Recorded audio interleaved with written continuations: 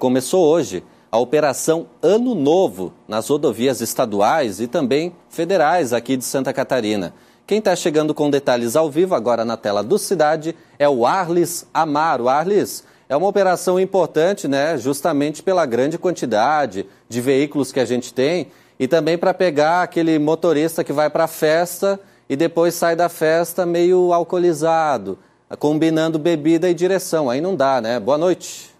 É sim, Luan. Boa noite para você, para quem nos acompanha aqui no Cidade Alerta.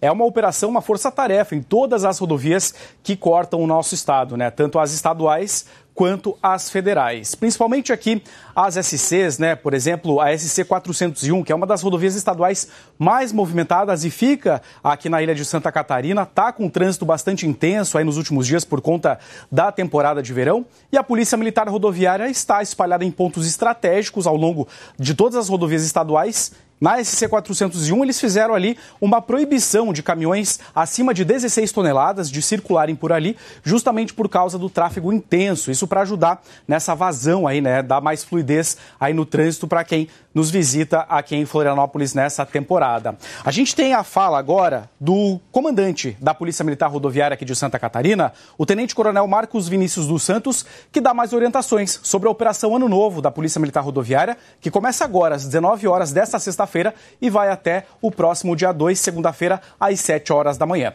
Vamos ouvir. Por isso, intensificaremos as nossas ações na fiscalização do excesso de velocidade através dos nossos radares móveis Fiscalizaremos também as ultrapassagens em locais proibidos, utilizando inclusive drones, e, fiscalizaremos a embriaguez ao volante, infrações graves e que estão diretamente relacionadas aos acidentes de trânsito. Pedimos a todos muita paciência, é um período de festas, muitos veículos em nossas rodovias, especialmente nas rodovias que levam às praias de Santa Catarina, principalmente as praias da ilha de Florianópolis. Então, a todos muita paciência, cuidado. No trânsito é preciso cooperar para termos segurança.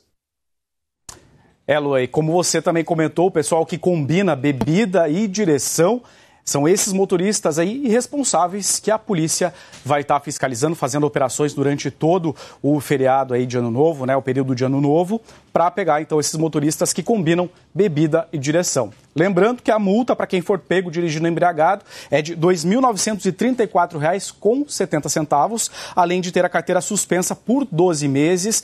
E a Polícia Rodoviária Federal também destaca que durante as operações, quem se recusa em fazer o bafômetro não é isento de ser penalizado ali se por acaso apresentar sinais de embriaguez. Inclusive, a Polícia Rodoviária Federal também começa a Operação Ano Novo nessa sexta-feira. Está dentro da Operação Rodovida, que é a maior força-tarefa da PRF rodovias federais, se estende até o carnaval, mas agora no ano novo, justamente por época de festas, por causa das festas, né? O pessoal costuma aí combinar bebida e direção. São essas pessoas que a Polícia Rodoviária Federal também vai fiscalizar. A gente vai ouvir agora o Adriano Fiamoncini, é o chefe de comunicação da Polícia Rodoviária Federal aqui em Santa Catarina, que nos traz mais orientações para quem circula nas rodovias federais aqui no estado.